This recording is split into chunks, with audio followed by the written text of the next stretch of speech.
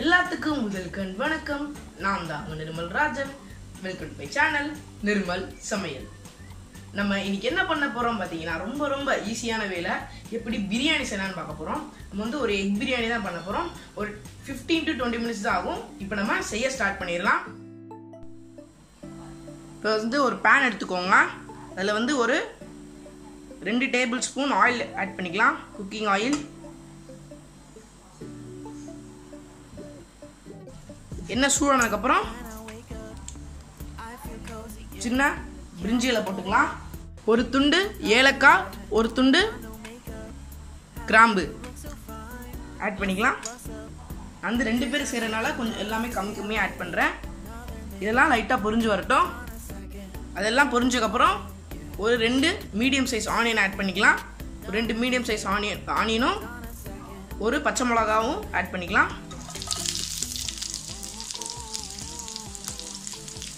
நல்லா golden brown வர வரையும் சாட்டை பண்ணிக்கலாம். நல்லா இப்போ இது ஃப்ரை ஆயிடுச்சு. இதில் வந்து ஒரு teaspoon ginger garlic paste add பண்ணிக்கலாம். அதோட பச்சை வாசனை போகிற வரையும் நல்லா சாட்டை பண்ணிக்கலாம். ஜிஞ்சர் கார்லிக்கோட பச்சை வாசனை போனதுக்கப்புறம் ஒரே ஒரு டொமேட்டோ ஆட் பண்ணிக்கலாம்.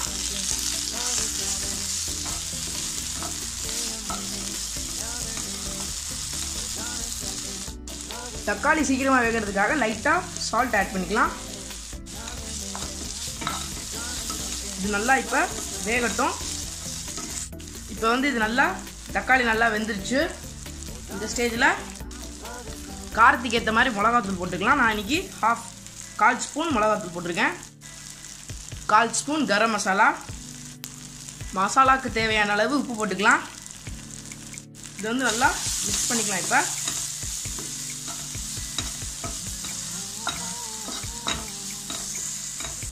மசாலா நல்லா மிக்ஸ் ஆனதுக்கப்புறம் ஒரு சின்ன ஸ்பூன் ஒரு ஒரு கரண்டி மட்டும் தயிர் ஆட் பண்ணிக்கலாம். இல்லை புளிப்பு இல்லாத தயிர் ஆட் பண்ணிக்கோங்க. இது நல்லா மிக்ஸ் பண்ணிக்கலாம்.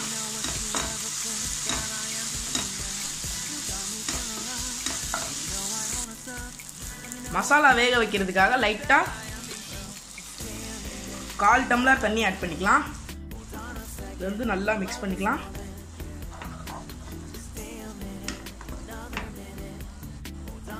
இது வந்து லைட்டாக கொதிச்சு வந்தோடனே நம்ம முட்டை ஆட் பண்ணிடலாம். இது வந்து இப்போ மூடி வச்சிடலாம். இது வந்து திறந்து பார்க்கலாம். நல்லா கொதிக்குது. இந்த ஸ்டேஜில் நம்ம எக் ஆட் பண்ணிக்கலாம். நான் இப்போ போட்ட மசாலாக்குனா ரெண்டு முட்டை கரெக்டாக இருக்கும்.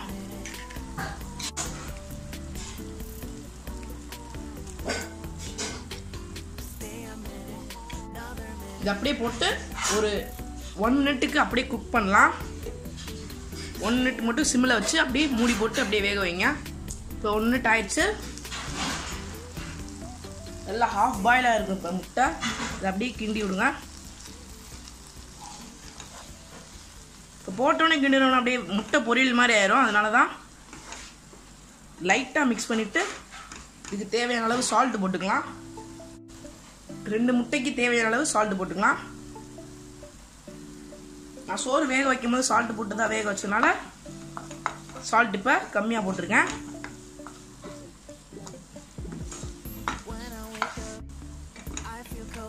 இது வந்து லைட்டாக ஒரு ஒன் மினிட்டுக்கு அப்படியே குக் பண்ணலாம். முட்டை பாதி இன்னும் வேக வைக்கிறதுக்கு.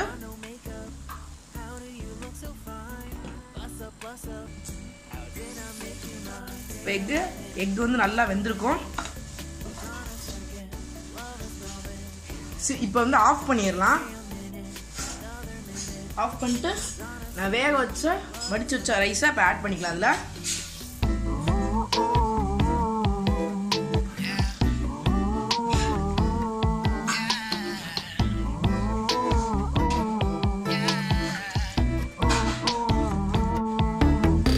இப்போ நான் சோறு போட்டாச்சு. இதில் வந்து லைட்டாக கீ போட்டுக்கலாம் மேலே.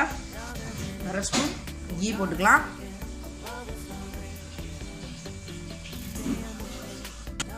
கீ ஆட் பண்ணக்கப்புறம் லைட்டாக மல்லி போட்டுக்கலாம். வாசமாக இருக்க போட்டோம்னா.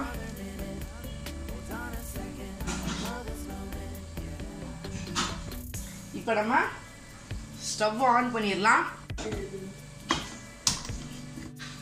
ஸ்டவ் ஆன் பண்ணிட்டு ஒரு டூ டூ த்ரீ மினிட்ஸ் வரையும் அப்படியே விட்டுறலாம். சிம்லே.